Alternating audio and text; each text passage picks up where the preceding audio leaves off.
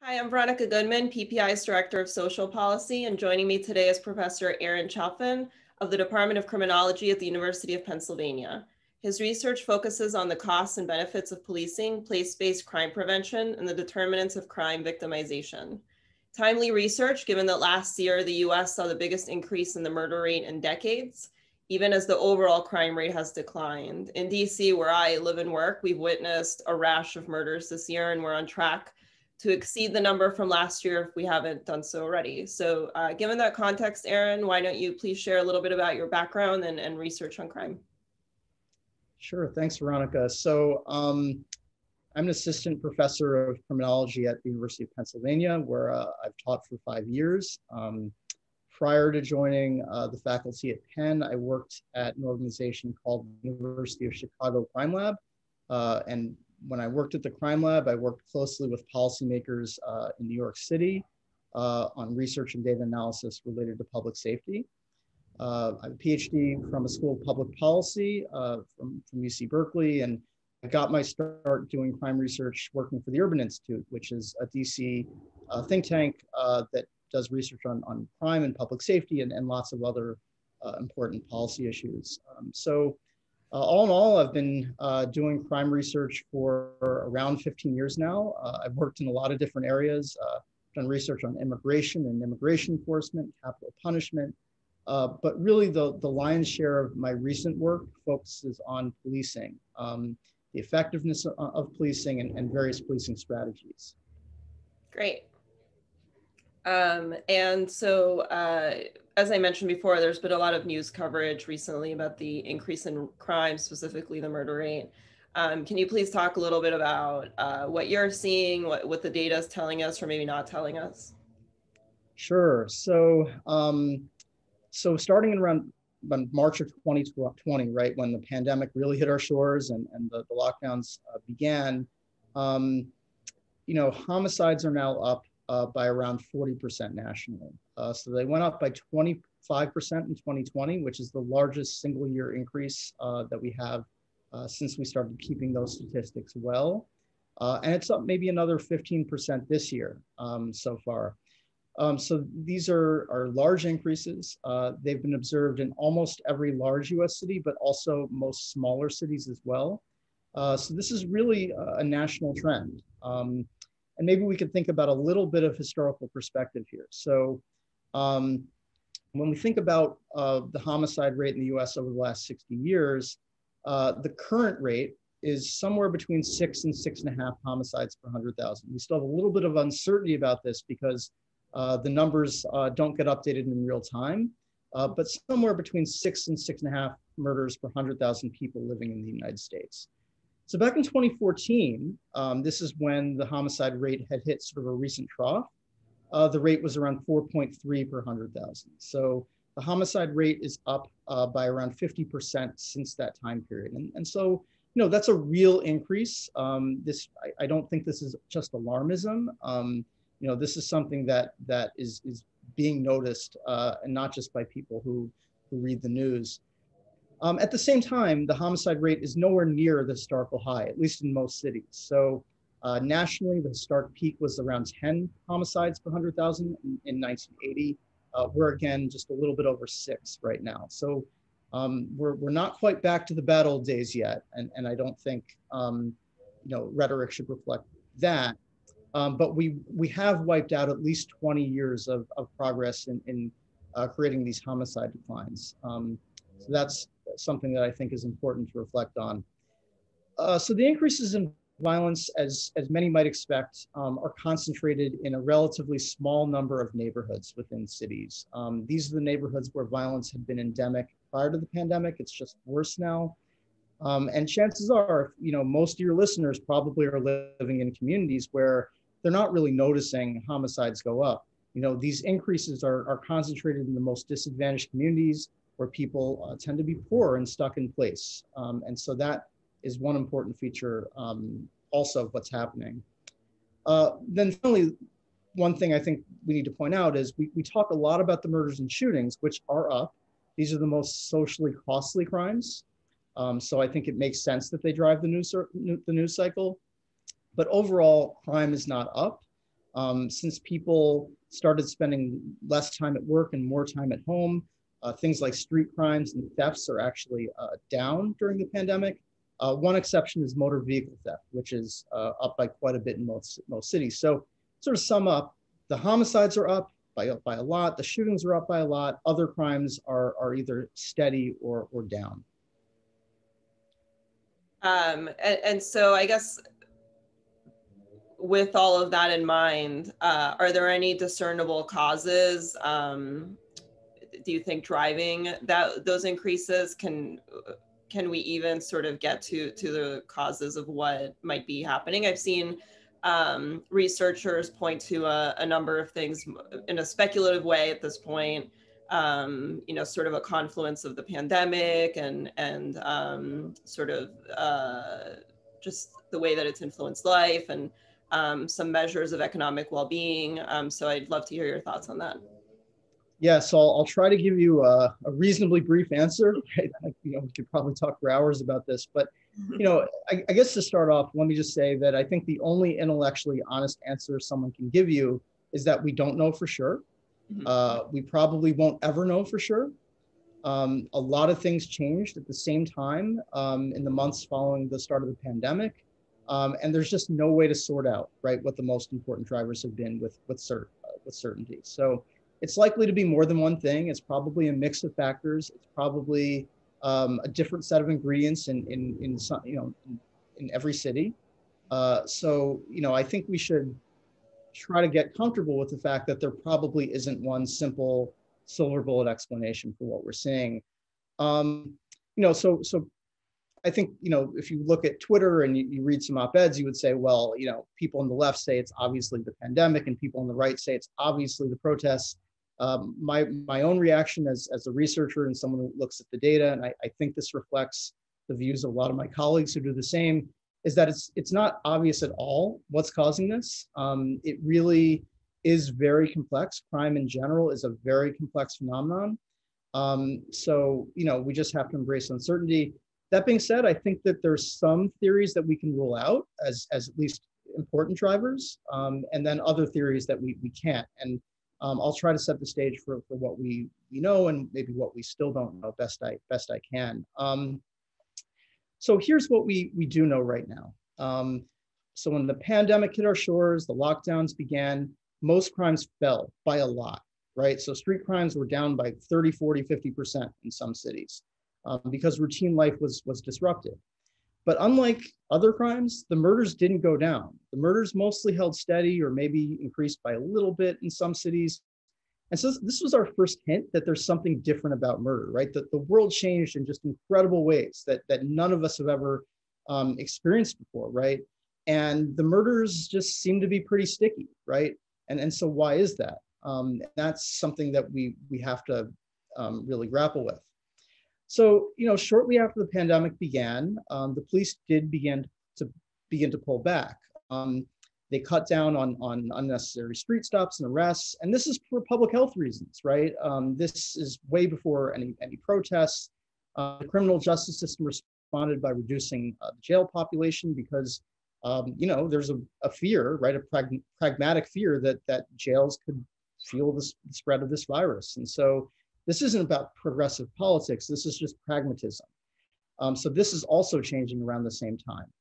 Um, so this is sort of the background, right? And so, you know, one I, I think really obvious theory here is that the rise in violence happens um, because of the pandemic, right? Um, the stresses and the strains of the pandemic, uh, things like lost loved ones, uh, lost jobs, uh, working from home in cramped apartments while your kids go to school, uh, the shutting down of schools, right?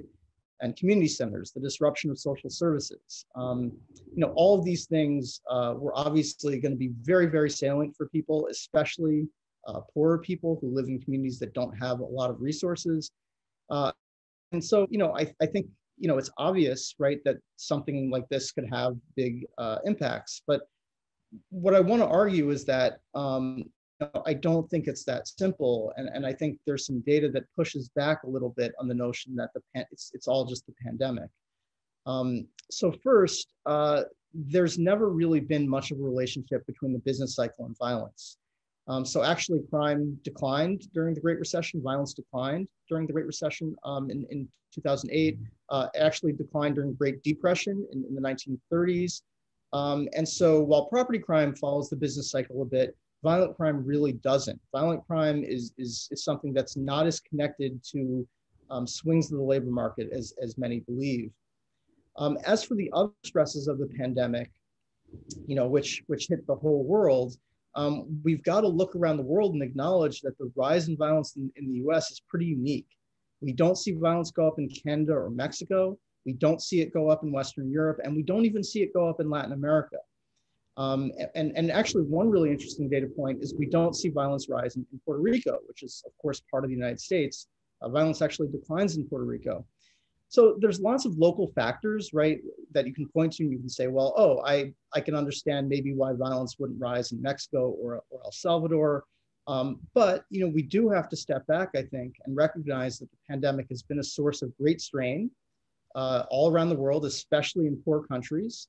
Um, you know, countries that, that have a lot of violence, countries that do have a lot of uh, access to guns, uh, and you know, we can talk about the fact that our social safety net is not nearly as good as what's offered in Western Europe, but it is certainly better, right, than what we see in, in Latin American countries. So, um, you know, I think the question that we have to be asking is why did violence go up in the US? Why is this a, a uniquely American problem? Um, and so, you know, in, in, thinking about this, right, we, we have to think about the events of May 25th and and the you know the killing of George Floyd by by Derek Chauvin. Um, so this is another big theory that people have put forward that it's it's the protests that caused the rise in violence. Um, and you know, so the protesters are, are calling for the police to be defunded. So when you just look at where when the protests happened and when the homicide rates began to spike, there's a pretty you know clear connection in time at least, right? That the violence really does go go up around the time of the protests. Um, so is it the protests? Is it, you know, defunding of police? Um, I think we can say a little bit about this. So with respect to defund, um, a few cities did meaningfully, meaningfully defund their police departments, but most cities didn't do that, right? And homicide rates rose fairly equally in both sets of cities. So it's, it's not the defunding of police departments. That really isn't something that happened very much in 2020. Um, and it's, it's very hard to think about that um, causing uh, what we've seen. Could it be the protests? Um, maybe. Uh, I don't think we can dismiss that out of hand. Um, but I, I don't think it's as simple as that. I don't think it's as simple as like, oh, the protests caused the violence, right? You really think about like why that might be. Um, so, so here's here's some data that I think pushes back a, a little bit on that idea. So, around March 2020, when the police were pulling back and making fewer stops, they were starting to confiscate larger and larger numbers of guns. So the police are making 65% fewer stops and they're finding 300% more weapons uh, on people. And so people, what this means, I think, is that people were more likely to be carrying guns, right? Unless the police all of a sudden got really, really good at figuring out who had the guns in them. Um, and this happened before, um, you know, the horrible events of May 25th. Um, and so, you know, the, the you know, the key ingredient that set the stage for the rise in violence was already happening shortly after the pandemic began. And, you know, I think that pushes it back against this simple idea that the pandemic caused the violence.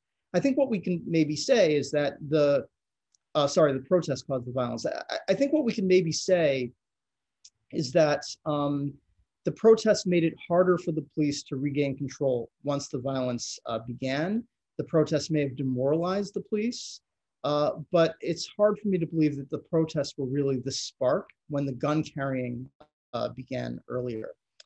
Um, so I'll try to be brief. I have two other quick theories I want to um, just talk about because they've, they've come up quite a bit. Uh, the first is progressive political reforms. Um, so these are reforms like um, uh, getting rid of money bail and um, reducing penalties for misdemeanor crimes. These are reforms that were being pushed in some cities prior to the pandemic. And so some people have said, well, it's not the pandemic, it's those reforms that are finally uh, having an impact. Um, you know, in my view, uh, that is an unlikely uh, major driver of what we see in 2020. Uh, basically, Um, the pandemic is is you know whatever it is, policing or the pandemic itself. You know, crime is going up everywhere, at least violent crime, and it's going up uh, about the same in cities that had more progressive reforms and in cities that had fewer progressive reforms. So I, I don't think that is is a major driver. Uh, and then one other theory that people bring up is is gun proliferation. Um, so basically, uh, in 2020, there was a massive surge in gun purchases. Um, new background checks rose by 40%, um, which is the biggest rise in, in many years. Uh, I'm personally a little skeptical that this is a major driver. Could it be a, a driver to some extent? Sure. Um, and, and, and I'll just give you two reasons why. Um, so first, you know, if you think about the period from, uh, you know, let's say 2000 to 2014, um, more than 100 million new guns were purchased in the United States, well over 100 million, and, and murders went down. And if you look at the relationship between gun purchases and, and murder, there really isn't a national relationship between these two series. And, and the big reason for this is that uh, crime guns tend not to be new guns. So the guns used in crime are usually around 10 or 15 years old. Um, so, you know, I, I, I, think it's it's easy to sort of say, well, you know, more guns in 2020, more more homicides, mostly most of which are committed using guns. So that that's clearly got to be a driver. Um, I don't think it clearly has to be a driver. Um, I, I, think, uh, you know, everything can contribute to some extent. This is very complex, but to me, it sounds more like a combination of the pandemic itself with um, issues related to policing and maybe police pulling back, maybe a lack of police legitimacy, things like that. No, I, I certainly appreciate that intellectual honesty. It's it's pretty consistent with um, sort of the picture of complexity that I've seen. And I'm glad that you brought up uh, the data on other countries um, because it, it, does seem to say that this is a uniquely American uh, problem with violent crime. Um, so I think given that we understand that it's unique to the US, um, that sort of uh, leads to my next question, which is what policy options are there um, what what solutions are there for uh, mitigating violent crime? Um, because it seems like there's a lot of debate around what the causes are, but we actually do have some solutions that we can point to as, as being effective. Yeah, so we we have information right about what's worked in the past to control crime. Um, you know, the, the, thing is, a lot of that research was carried out during a period where crime was sort of um, falling or was at least uh, steady. So, you know, I think the big caveat here is we don't really know specifically what's going to work in the context of, you know, rapidly rising homicide rates. We have to just embrace, again, that there's going to be some uncertainty around this. Um, but, but broadly speaking, I would say we have uh, maybe three main options when it comes to controlling uh, violence. Um, and so first we can invest in law enforcement, right? Um, so this uh, could take on many forms. It might involve directing police officers to uh, return to a more proactive style of policing, making more street stops, making more arrests. Uh, it could mean investing more in police manpower and just um, making police more visible as a deterrent, focusing more police attention on the areas where crime uh, has risen the most or violence has risen the most. Um, it could target, uh, it could include the targeting of criminal gangs specifically, because we know that gangs and crews are major drivers of what we're seeing um, happen right now. Um, so that's sort of the law enforcement approach. Um, second, we could invest in community-led approaches, right? So we could think about funding for social services. Uh, it's a popular idea, um, and there's some evidence behind it, right? Uh, we could think about community violence intervention, where trained street workers uh, interface with um, local gang members and try to mediate conflict and offer social services to gang members to, um, you know, maybe uh, induce them out of a way of life that that uh, might lead to violence. Um, and so all this is, is another option on the table. Um, a third option that maybe gets a little bit less attention, but I think is worth thinking about as well, is focusing on the built environment. Um, so things like greening vacant lots, fixing up abandoned buildings, reducing disorder, and, and adding street lighting. Um, there's um, definitely some evidence that disorder begets disorder. Um, and so that's another strategy. And, and I think, frankly, all of these should be on the table, right? Um, you know, the, the causes of, of crime are complex, and, the, and so the solutions probably should be complex and multifaceted uh, as well. Sure. Um, and I guess thinking through uh, these three options, um, it seems like the uh, violent crime rates, as you mentioned the, at the beginning, are sort of uneven just based on the city, the size of the city, um, even sort of the density of, of the location. So um, thinking about where the spikes are happening, or is there one option that's maybe more um, not just effective but appropriate um, given uh, the level of crime? Yeah, so I, I, I definitely can speak to um, you know what we know about what works, at least looking backward, and you know what we still you know maybe are less certain about.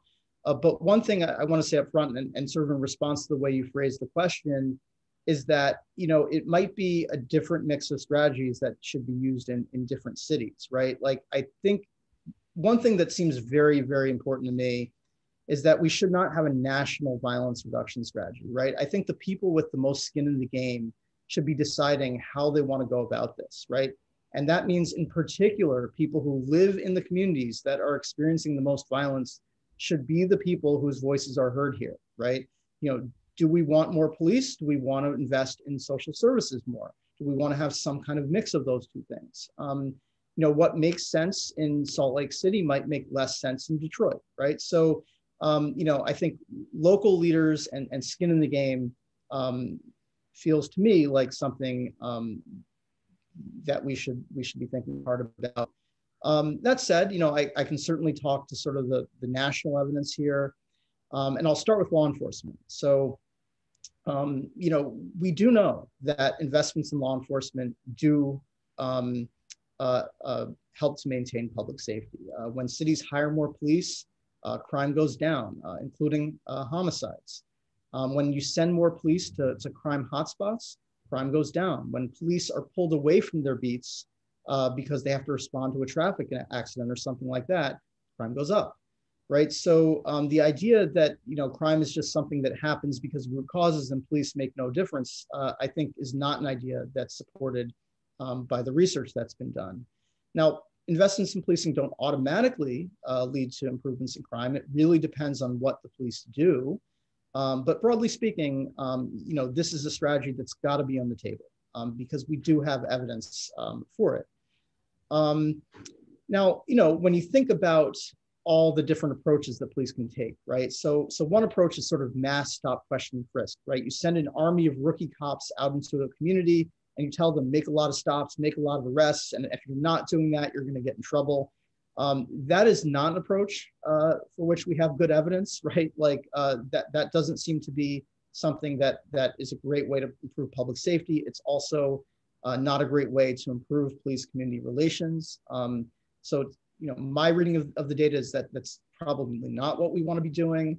Um, at the same time, um, you know, uh, when police don't feel empowered to make stops at all, um, and when they're they don't feel empowered to do good proactive policing, um, there's evidence that that's an environment that you know that can be conducive to a rise in crime. So there's research that shows when there's a viral, a viral video or a viral crime incident, and then there's a federal investigation, the police pull back, right? They make fewer stops and arrests, and then violence does does increase, right?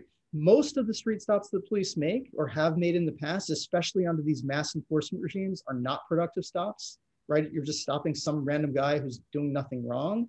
But some of these stops, I think, have great public safety value, and you want those stops to still be made. Um, so I think that's uh, something that that is important to think about when it comes to policing. Um, there's also some evidence that a laser focus on criminal gangs can matter a lot. So, so something that's not well known is that in New York City, the homicide rate declined by 50% between 2011 and 2019. So up until the pandemic, New York was experiencing this like second great crime decline that other cities just weren't experiencing. And in the background is the fact that a federal court ruling happened in 2013 and the police uh, started making many, many fewer street stops. So the police are, are making fewer stops and the homicide rate is going way down. And so why is that? How is that possible? Well, what the NY, NYPD began doing, and this is in, in partnership with the, the local district attorney's offices, is really beefing up their anti-gang unit, um, engaging in large scale gang raids and going after people who are known to carry guns and known to um, be involved in shootings. And there's research, some of it by me, that, that suggests um, that this was a major driver uh, as to why homicides went down in New York City during this time. So, you know, we know that it's a small number of people in, in, in you know, disadvantaged communities that are, are carrying guns and involved in a lifestyle that creates uh, lethal violence. And, you know, I think it's right that if the police can go in and, you know, address those people, um, you really can see big reductions in crime without more and more street stops and more and more arrests and ever widening of the net of the criminal justice system. Um, so, so that's, I think, a broad overview of, of the public safety approach and what we know has worked and what, what really hasn't.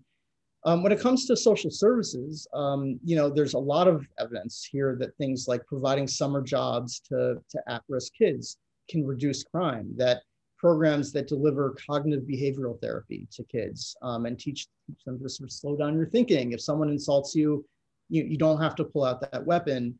Um, these things, you know, have evidence behind them.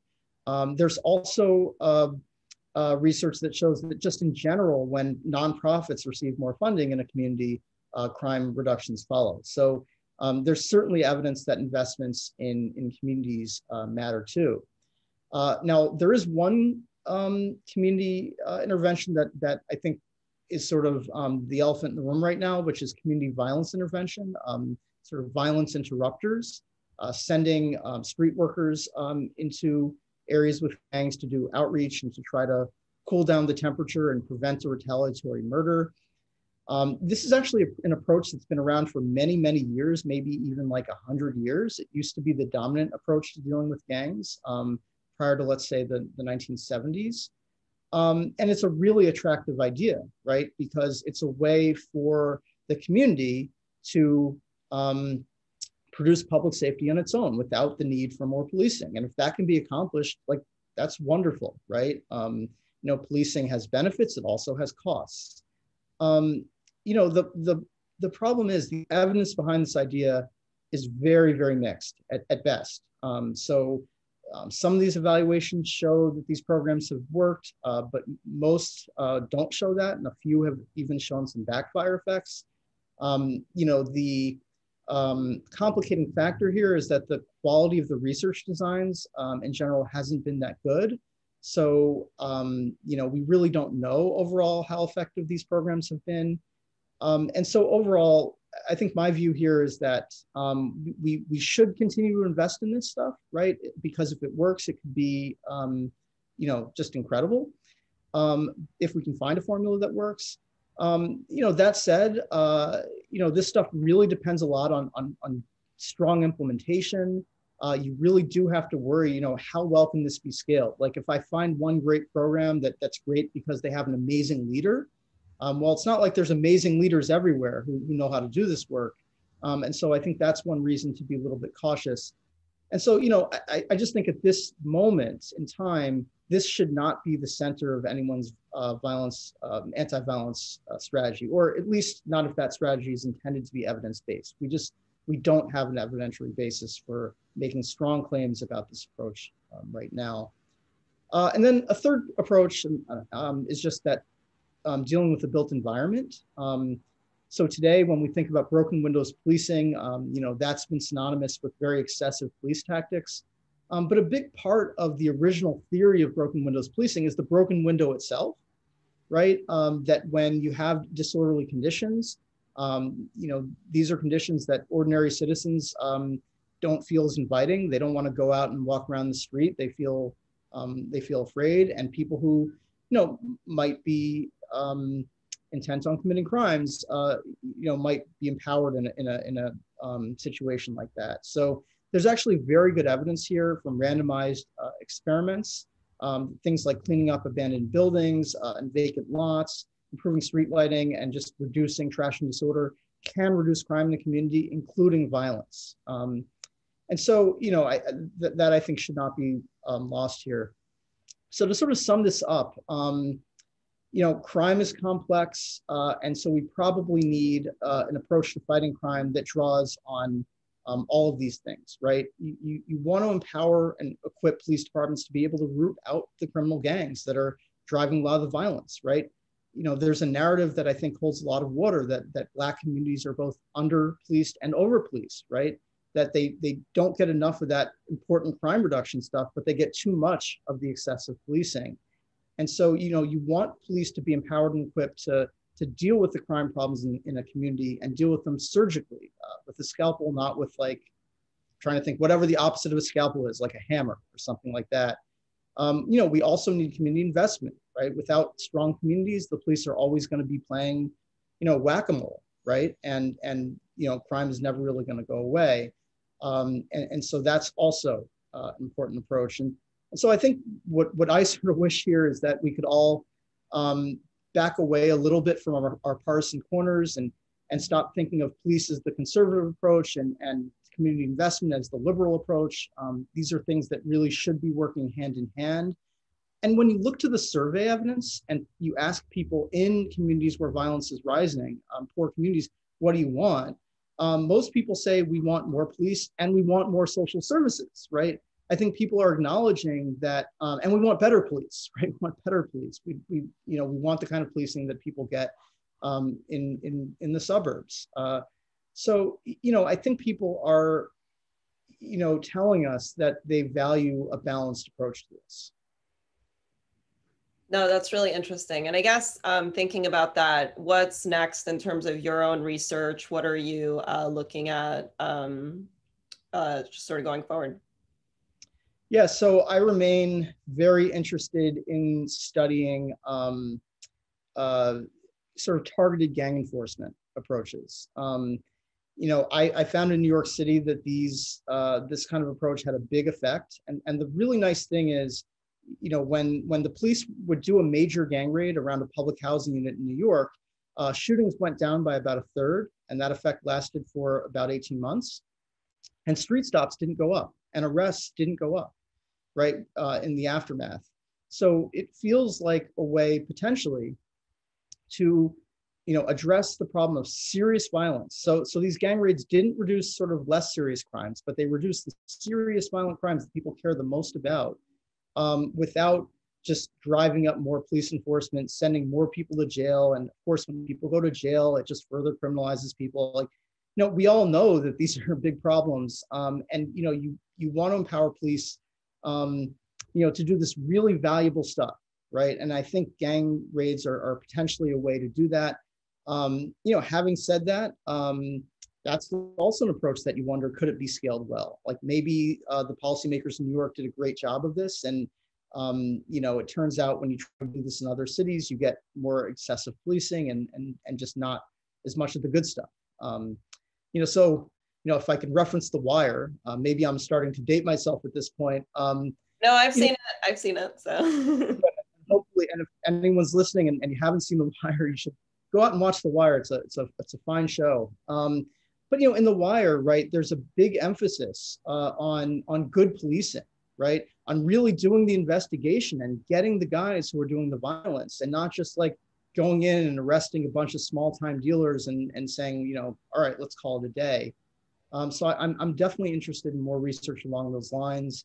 With respect to the causes of what happened in 2020, one of the things that I've thought more about is, you know, when you think about the rise in violence in, you know, in, in, in certain communities, how much of that is just more violence among the pre-existing networks of people who are already involved in the violence, and how much of this is new entrants, right? So I think anecdotally, what we hear, right, is that people realize it's an arms an arms race out there. So, you know, I don't want to be carrying a gun, right? But I'm going to carry a gun because I know other people are.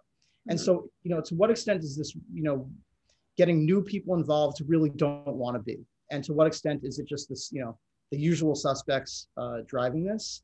Um, if it's the usual suspects, then I think it's easier for police to deal with this. Um, if not, then it's a little bit harder, right? The more diffuse the problem is, the harder it is for policing um, to do this in a surgical way. So um, those are some things that I'm thinking about, uh, but um, you know, uh, so it's a big world of researchers out there, and um, you know, hopefully in the next couple years, we'll, we'll start to learn, um, you know, what works to control violence when violence is rising. And, and hopefully we'll see that 2020 and 2021 were just a blip. Well, thank you, Aaron. This has been a, a fascinating discussion, and I uh, really appreciate you making the time to uh, join me um, for our podcast. Uh, we're looking forward to seeing your future writing and research on these topics, and we'll link to some of them in the in the webpage um, for people who want to read more. But thank you. Thanks, Veronica. My, my pleasure.